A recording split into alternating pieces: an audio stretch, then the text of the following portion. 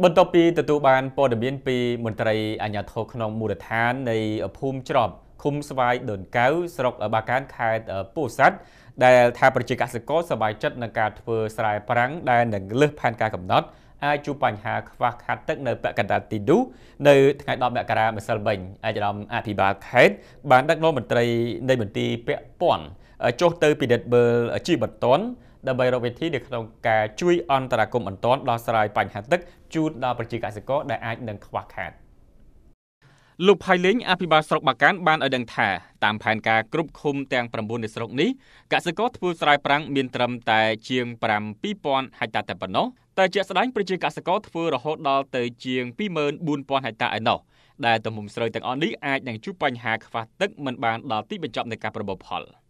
លោកដឹមគឹមហានមេឃុំស្វាយដូនកៅបានបញ្ជាក់ថាប្រជាកសិករធ្វើស្រែប្រាំងបានប្រមាណជា2500ហិកតាបច្ចុប្បន្នមានទឹកពេញស្រែតែអាចប្រឈមនឹងបញ្ហាខ្វះទឹកនៅពេលខាងមុខ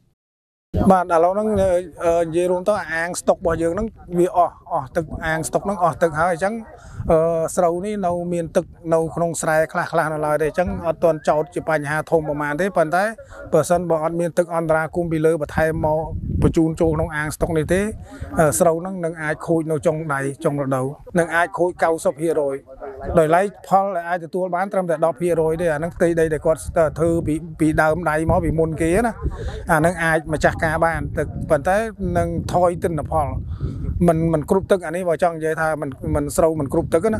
ប៉ុន្តែ90%នឹងត្រូវខូចបើសិនណាជាអត់មានទឹកបញ្ជូនមកបាទថ្ងៃនេះខ្ញុំអរគុណឯកឧត្តមអភិបាលខេត្តដែលលោកបានអញ្ជើញមកដោយផ្ទាល់មកពិនិត្យមើលស្ថានភាព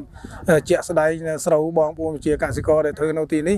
ហើយឯកឧត្តមលោកនឹងដោះស្រាយបញ្ហាទឹកបញ្ជូនចូលអាងស្ទឹងដើម្បីឲ្យគាត់ស្រោចស្រពបានតែម្ដងទៀតអានឹងនឹងអាចគាត់ទទួលផលក្នុងចុងរដូវនេះបាន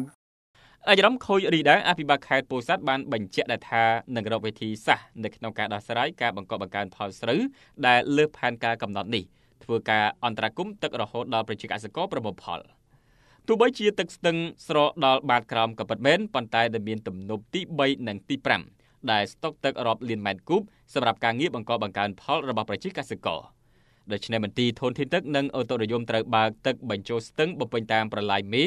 បញ្ចេញតាមប្រឡាយជើងក្អែបស្តុកទឹកទុកក្នុងស្ទឹងស្វាយដូនកៅបឹងអូឬក៏ព្រែកដើម្បីត្រៀមសម្រាប់ប្រជាកសិករបូមដាក់ស្រែរៀងៗខ្លួន។ អាយរំបញ្ជាក់ថាក្នុងនាមថ្នាក់ដឹកនាំខេត្តនៅពេលដែលប្រជាពលរដ្ឋជួបបញ្ហាអ្វីមួយមិនអាចសំងំស្ងៀមនោះទេគឺត្រូវចុះទៅដល់គោលដៅដើម្បីដឹងការពិតនិងរកវិធីដោះស្រាយអាយរំបានកោតសរសើរចំពោះប្រជាកសិករទាំងអស់ដែលខិតខំប្រឹងប្រែងយ៉ាងសស្រាក់សស្រាំក្នុងការធ្វើស្រែប្រាំងស្ទើរតែគ្មានដីទំនេរទាំងនេះក៏អាស្រ័យដោយប្រទេសមានសុខសន្តិភាពមានប្រភពទឹកនិងប្រព័ន្ធធារាសាស្ត្រខ្វាត់ខ្វែងគ្រប់ទីកន្លែង។